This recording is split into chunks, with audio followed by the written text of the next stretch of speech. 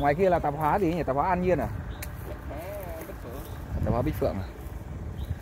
Bất động sản thiện nhân à, xin à, kính chào quý vị. Nay chúng tôi đứng ở chỗ này là xã Bầu Lâm huyện Xuyên Mộc tỉnh Bà Rịa Vũng Tàu. Chỗ này có cái đường chữ F này. À, có cái miếng đất đây quý vị. Miếng đất này khá đẹp này. Đường nhựa ô tô tránh nhau thoải mái luôn. Này ra cái chỗ tạp hóa Bích Phượng ấy khoảng à, uh, 300 mét quý vị. Tạp hóa Bích Phượng ở Bầu Lâm ấy nếu mà quý vị đi từ vùng binh mà mà rẽ trái xuống mặt hồ á rẽ phải thì vào chợ. Rẽ trái xuống mặt hồ là đi qua cái ờ, tạp hóa Bích Phượng, rẽ vào đây 300 mét nữa. Tới, từ đây ra ngoài vùng binh ấy ờ, khoảng ờ, hơn cây số, khoảng cây số thôi. Có lô đất ở đây diện tích là 6 xào. 6 xào như quý vị đằng sau nghe nói là có suối. Có cái mặt đường này ôm đất như này. Đường điện ở trên này đây rồi. Đây khu dân cư nha quý vị. Dân cư ở đây mỗi nhà một vườn nên dẫn đến là nhà ở cách nhau. Đấy, đây cũng có nhà này. Ừ. thì à, là đất nó có cái à, đường nhựa ôm cua thế này ôm cua thêm à, hình chữ S này. Nhưng mà đến cái cây à, mấy cây điều kia là đất của nhà khác rồi nha quý vị. Mấy cây này này. Đó, mấy cây điều nhỏ nhỏ này thì là của nhà khác rồi. Ừ, còn lại thì đất này đang trồng cỏ hoang thôi chứ không có gì. Ở dưới đấy nghe nói là có cái suối suối như cái sông á. Đất này nó dốc thay thoải xuống suối. Địa thế cũng khá đẹp. View xung quanh. Đó. view uh, cảnh làng quê rồi cây cối xung quanh. Sáu xào. Mặt đường này nếu mà hình chữ F này cũng phải cả gần trăm mét nha quý vị. Còn uh, bề ngang thì cảm nhận sơ sơ là khoảng sáu bảy chục mét sâu khoảng trăm mét. Diện tích là đúng 6 xào à hay bao nhiêu em? 6 xào 173 mét hả? Ừ, 6 xào 1 Giá chủ đang đưa ra là 500 một xào Đấy, 63, 6530 khoảng 3 tỷ hơn 3 tỷ đó. 3 tỷ không trăm mấy chục triệu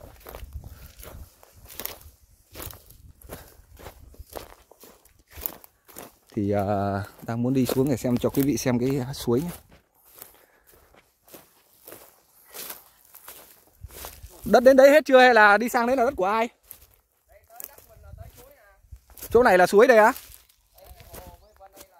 À? đây là cái hồ hả? Thế tức là có một cái hồ của nhà mình. Rồi, đi vào đám cỏ gai rồi.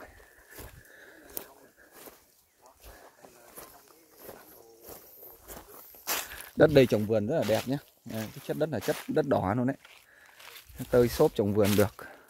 Có hồ nước sẵn ở đây rồi, tích nước ở đây rồi đây là có cái ao nhỏ nhỏ nha quý vị.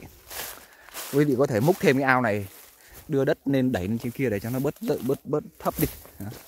Là có được cái nhà vườn ao chuồng được ngay. Thế là đất của mình đến chỗ đang đứng đấy hả? À, tức là suối này thì là thành uh,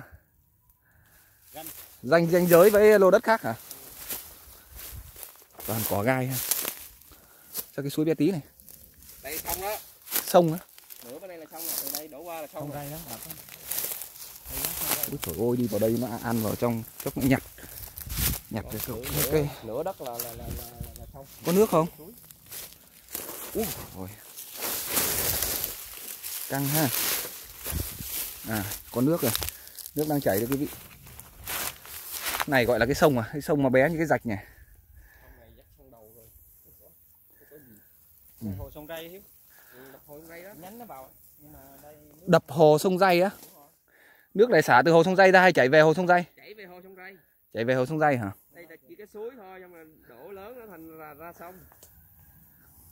Bắt đầu từ ở đây đổ đi là thành sông rồi nó ra là là, là cái trong bản đồ đó là sông rồi. À trong bản đồ là sông. Bên kia nó có cái rạch không? Bên này có rạch không? Bên kia đất có cái rạch không? Bên kia cái cái lươn này có cái cái rạch không? Có bên kia có cái rạch nhỏ nữa đó. À có hai cái rạch chạy song song cái lươn đấy hả? Đó ở giữa nó mô lên ở bên kia nó cũng có cái rạch đó. Rồi sơ bộ là như vậy quý vị nhé ô tô đang đậu ở tít đằng kia. Chỗ trên đường nhựa. Đó, đó bờ rào của nhà bên cạnh. Đấy, quang cảnh thì như này nha quý vị. Toàn cảnh nô đất như này. Nô đất hàng xóm này đã được ờ, có hàng rào hết đều. À, có cái cây cây cọc ờ, tiêu hết đều. Cọc ờ, gọi là cọc uh, ranh giới. Chỗ này cũng có ranh giới tương đối rõ ràng rồi này. Đó, thì đằng sau này thì có suối ờ, đằng trước thì có đường. Để cơ bản là ranh giới là tương đối rõ ràng. Còn lại là cái ờ, giá thôi. Cái này chỗ này vị trí này cũng khá gần ờ, gần chợ, gần trung tâm xã. Cách trung tâm xã km quý vị nào mua một cái nhà vườn như thế này, giá khoảng hơn 3 tỷ, hơn 3 tỷ chút. Khá tốt đó đào cái ao này rộng ra có nước thả cá làm một cái nhà tròi làm cái nhà nhỏ nhỏ và trồng cây. Đó, trồng cây ăn quả. Bưởi rồi à, mít rồi sầu riêng rồi măng cụt rồi bơ. Cây nào mà quý vị thích thì quý vị trồng vì đất này trồng được hết. Đất đỏ này trồng thoải mái luôn.